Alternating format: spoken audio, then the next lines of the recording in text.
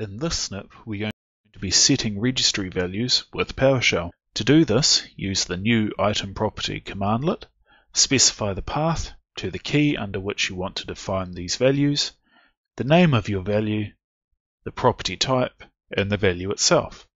In this example, I'm creating a screencasts value under the TechSnips key in my current user Hive. I've set the property type to dword or 32-bit integer, and the value itself is 5. However, when I run this, I get an error message because that key, TechSnips, doesn't yet exist.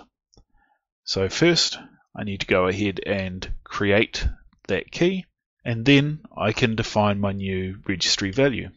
You can also define new registry values without specifying a property type, and PowerShell will match the type you are supplying via the value and match that to a appropriate property type within the registry. So I can provide a string, such as registry values, or I can provide an integer, and then if I look at the contents of that key using getItemProperty, I can see that both screencasts from the previous example and published have been created as integers, whereas current snip has been created as a string. If you want to set the default value for a key, for example, I want to set the default value for my TechSnips key to the URL for the TechSnips website, you can do this using new item property. However, the name is default in parentheses.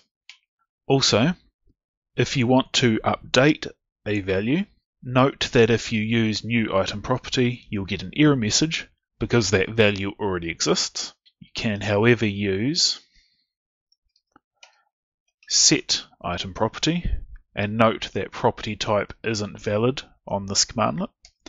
When I run this, that property has been updated, but do be aware that you can overwrite the property type for a property when updating. So PowerShell will accept the string 10 and this will change from an integer value to a string value. Finally, if you need to set registry values for the local machine hive, you do need to run as an administrator. And if you aren't, you'll get an error message telling you that that registry access is not allowed. That's been setting registry values with PowerShell. Thank you for watching.